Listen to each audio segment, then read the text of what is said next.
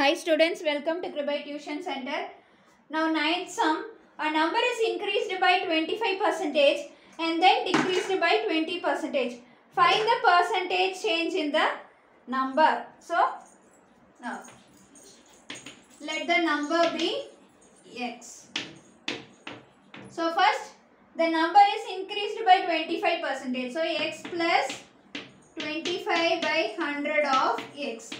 Now we should find the answer for this. Take LCM 100x plus 25x by 100 which is equal to 125x by 100.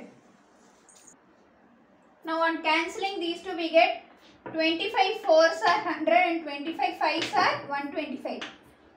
so 5 by 4x. After 25 percentage increase, the number is 5 by 4x. Now we are going to decrease by 20 percentage. So now the number is 5 by 5x by 4.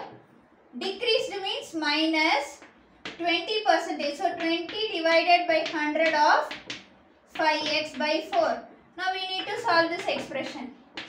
5x by 4 minus 5 zeros are 0, 5 2s are 10. 100x by 4 into 100 is 400. Now on taking LCM, here 4 is there. So 4 into 100 will give you 400. So this also you need to multiply by 100 equivalent fractions. So 5 into 100 is 500.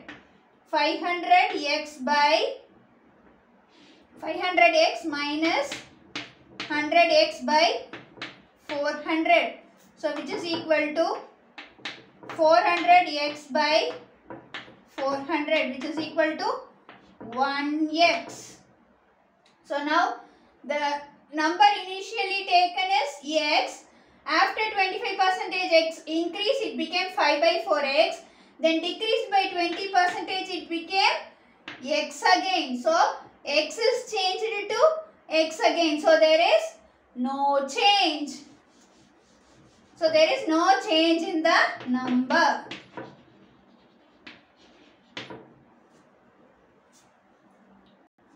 Next, 10th sum.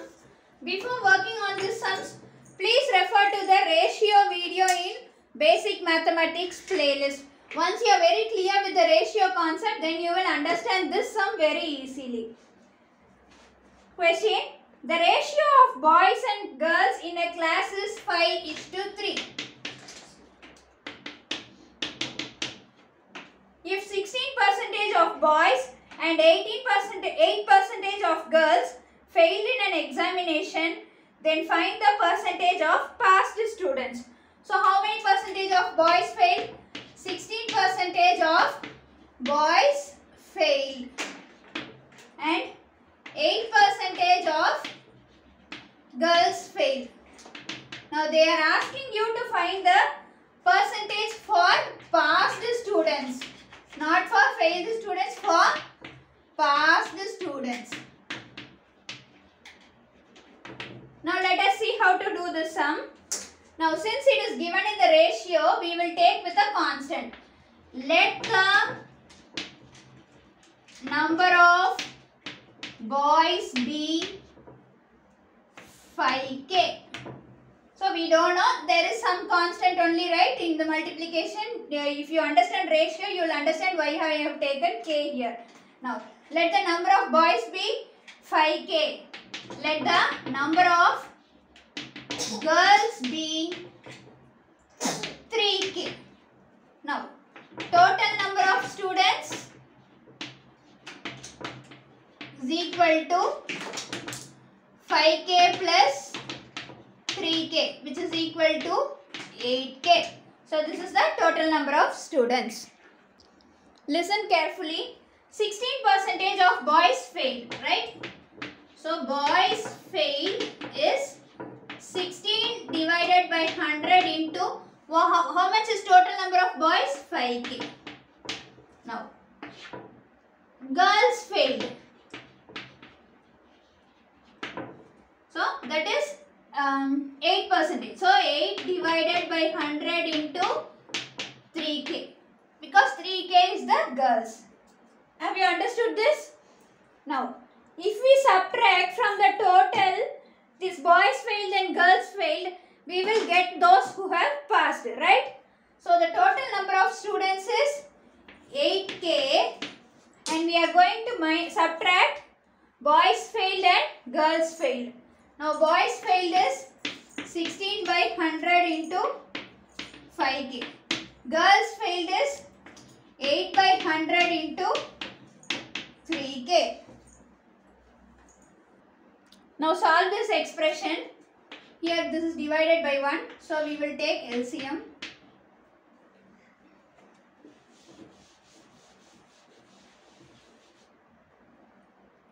So here 800k.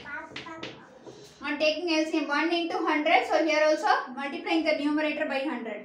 So 800k minus 16 into 5. 5 6 are 30. 0 carry over 3. 5 1s are 5. 6 7 8. 80k minus 8 3s are 24k.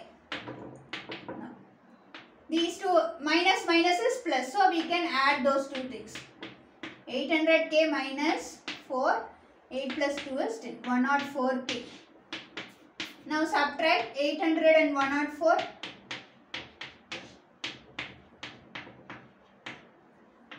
Six nine six ninety six.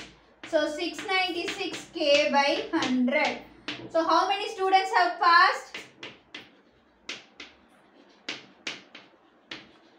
Passed students is equal to six ninety six k by hundred. See now we have found the passed students, number of passed students is equal to 696k by 100. Now we need to find percentage for passed students. In the question they have asked you to find the percentage of the passed students, right?